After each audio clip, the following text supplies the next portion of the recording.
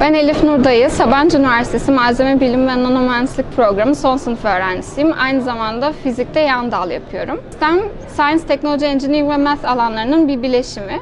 Ee, STEM alanında çalıştığınızda topluma katkıda bulunabilecek sorunları bilim ve teknolojiden faydalanarak çözebiliyorsunuz. STEM aynı zamanda sizi çok da hedef odaklı ve disiplinli bir insan haline getiriyor. Hayatınızdaki farklı bileşenleri dengelemeyi öğrenmeniz gerekiyor. Kadınlara ulaşmaktan, onlarla iletişim kurmaktan çekinmemenizi öneriyorum. Çünkü hepimiz aynı yollardan geçiyoruz Ee, ve yapmak istediğiniz sürece cinsiyetiniz gerçekten size engel olacak bir şey, bir tabu olmamalı kesinlikle.